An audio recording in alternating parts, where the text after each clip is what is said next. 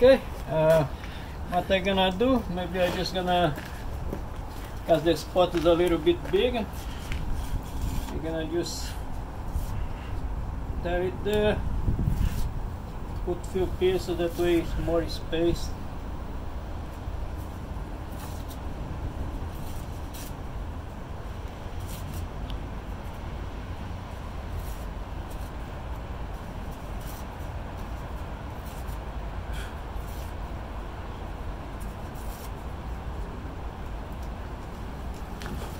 There you go guys.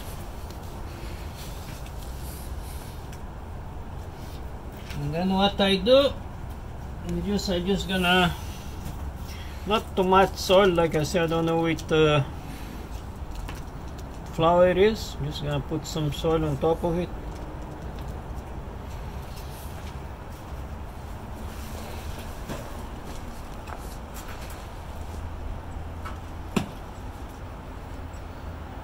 I already have some warm in there so to do the job.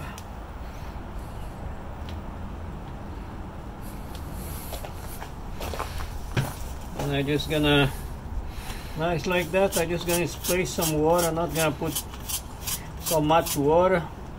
The reason is I don't want them to get rotten too. So it's just gonna be keep it moist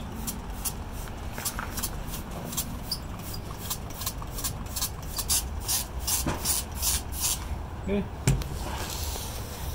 That should be good enough for now. And I put it right there. Where we hit some sun on the south side? And a little bit uh, well here right now most of every day so this probably I not even need to put any more water on those plants because the rain would get them moist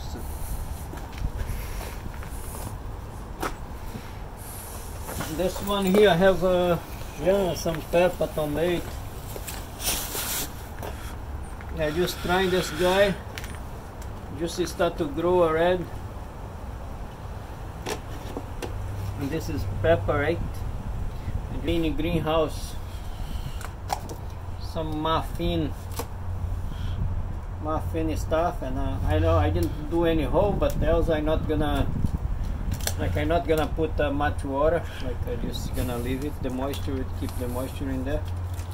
If it's the day get uh, too warm I just open up and let it be.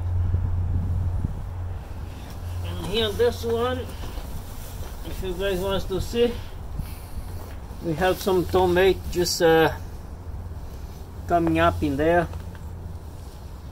But like I say it's still a little bit cold. Let's see if they're gonna handle the pressure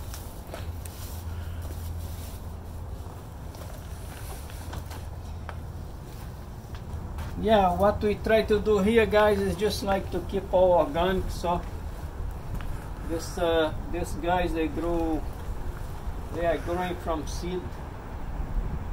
It's nothing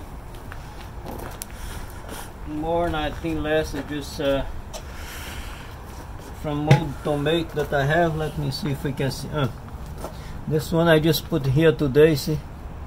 This is just a uh, some tomato that I kept. They get a kind of rotten so the seed is good. I just try on this one here they start to grow so I just plant some more. Guys I love you guys. See you soon. See you on the next video.